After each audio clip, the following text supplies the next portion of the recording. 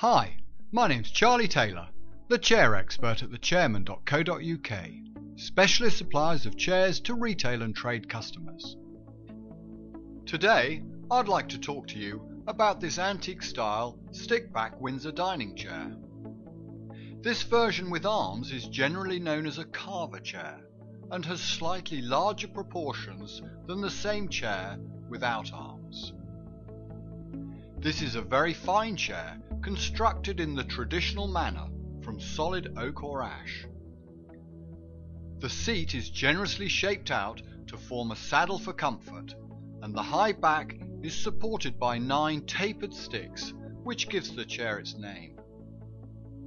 The back hoop features a scribe detail which follows around the seat perimeter and is a detail associated with better quality chairs of the period.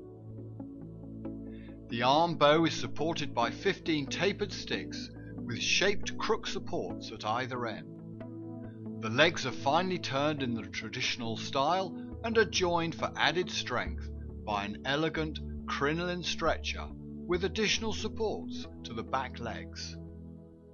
Originating in the 18th century, this chair has been in constant production ever since. Thank you for listening.